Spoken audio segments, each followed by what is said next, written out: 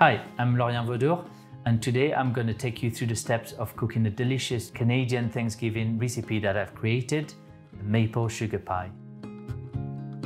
So for the first step, we're going to be doing the sweet pastry. And for this, I'm using plain flour and rye flour, just to give a bit of a nutty flavor from it. We have some maple sugar and some really nice and cold butter to go into the food processor.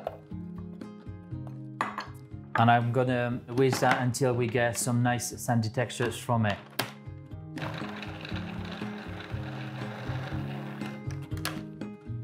So it's about 20 seconds and then you get no lump of butter into it. It's all blending, nice sandy texture.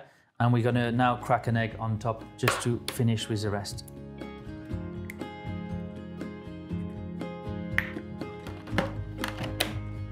And for this bit, I'm just gonna pulse it so I don't leave it too long.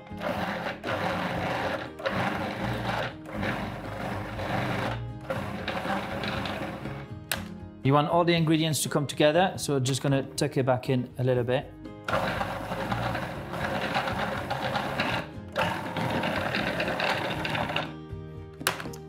There we go, we got everything's come together. We're just gonna put it onto the worktop. And rather trying to work it too much, you just wanna push it together into nice flat part. And now we've put it all together, we're gonna wrap it into cling film. And for now, we're gonna put it for two hours in the fridge so we get to have a nice firm pastry and we get to rest the gluten so it doesn't get too elastic when we, uh, when we want to roll it. So for the second part, while the pastry is chilling, we're gonna do the maple filling all in the processor again. We're gonna put some eggs. We're gonna put the oats into it and the breadcrumb. So I use sourdough breadcrumb to do a good bit of texture from it. And we got some salt flakes to go in. Also three tablespoons of double cream to go into it, melted butter, and plenty of maple syrup.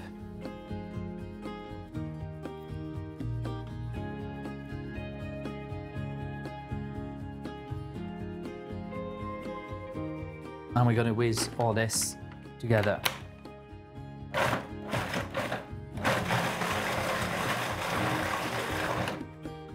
And once it's all mixed, we're gonna put it into the bowl with some chopped pecan nuts as well. And that's gonna give extra bit of crunch and extra bit of nuttiness to the filling. And for this, I've taken the idea of the treacle tart, which I've subsidized for the pure Canadian maple syrup. So you get a lot more depth and a lot more flavor from the syrup.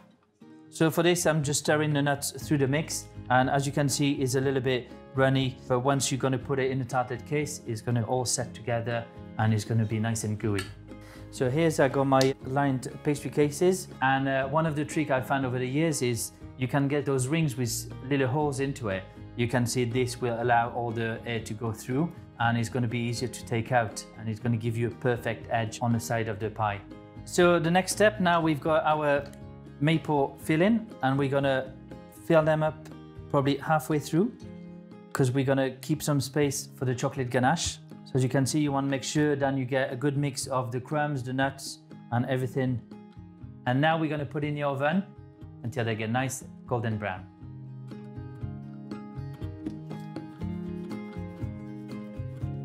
So for the next step, I've decided to use the Anzac biscuit, which is oaty, coconutty, and with a mapley flavor, it's gonna be delicious. For this, we're gonna put all the dry ingredients into the mixer. So we've got the flour, desiccated coconuts, oats, and we've got some maple sugar here. And we're gonna use a drizzle of maple syrup to go through it, a pinch of sea salt, melted butter, It's a really easy recipe to do. Basically, you just got to put it all in a mixer. It's all to come together and just let it chill after that. So we got some bicarbonate of soda, which we need to react with some hot water. And I'm just going to put a tablespoon of boiling water to it. and mix it all in it. Make sure to keep it on a low speed as you don't want everything to explode everywhere. The bicarb is actually gonna kind of puff up a little bit uh, the old biscuits and it's gonna create those little pockets of air inside it when you get the butter cooking. It's like a hobnob. It's the best, best kind of texture you can get. It's that crunchy, buttery, nutty, and I love it. So this is it. Just by looking at it, it looks a little bit crumbly, but then you want to check by if you squeeze it a little bit in your hand, it comes together and you get all that nice sticky and buttery dough. So we're gonna roll it in between two sheets of paper. Uh, you want it nice and thin, so we're gonna get a good texture from it and set it in the fridge afterwards. The thing I love about this recipe is, uh, is working with product like maple syrup is uh, you get to have something which is more natural and you get a lot more flavor uh, intensify and you don't need to use as much than a regular recipe. And now we're gonna set it in the fridge for about 20 minutes. Now the maple pies are ready. Uh, we're gonna let them cool down for about half an hour naturally. So now the Anzac uh, biscuits have set nice and firm in the fridge. We're gonna use a pastry cutter. Uh, the idea is we wanna get the biscuit to sit on top of the tart nice and neat. So we're gonna cut it and we're gonna cook on the same silicone mat than we used previously for the tart. Same thing is just to make sure that we get an even cooking and no air pockets get trapped underneath. And now we're gonna put them in the oven until they get nice and golden brown. So now we got the Anzac in, a, in the oven. We're gonna start on a ganache. And for this, I'm gonna boil some uh, maple syrup into the pan. Bring it to the boil and then we're gonna add the hot cream and butter into it. You wanna make sure it's gonna look really foamy and you wanna try to get that foam to be nice and thick and you're gonna see the colors intensify and that's gonna give you the idea of how strong the caramel gets from the maple syrup.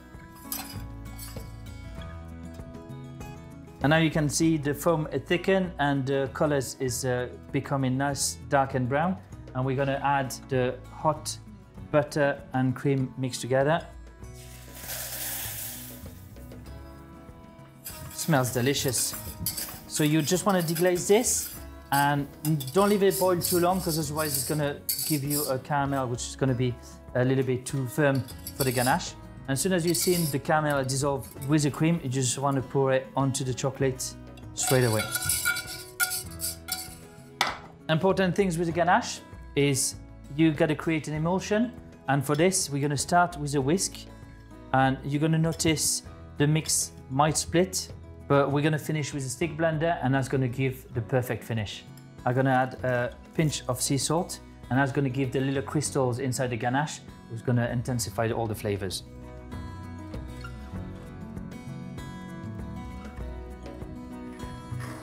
And you want to make sure to get the whole mix mixed properly and then you can see how glossy the ganache is.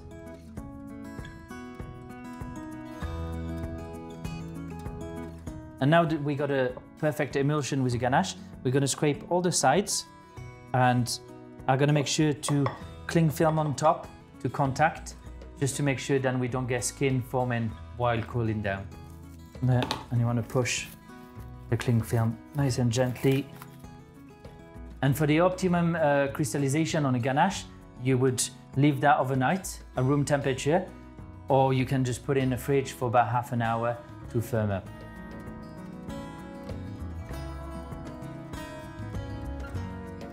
So now I've got the chocolate ganache was set in my piping bag and I'm gonna pipe it on top of the tarted case. And you wanna try to be nice and generous. So when you can press the Anzac biscuit, you can see as I push, the ganache comes out on the side. It's such a satisfying moment.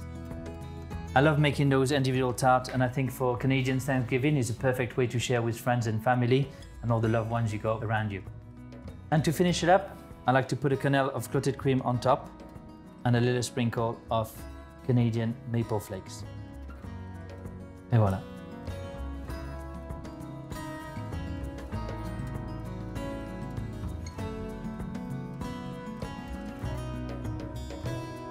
So this is it. This is my version of the maple sugar pie. We've got maple sweet pastry, sticky maple filling, maple caramel and milk chocolate ganache, crunchy biscuit, dollop of clotted cream.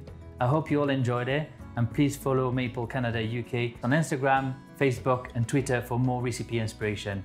Happy Thanksgiving everybody. Time to tuck in.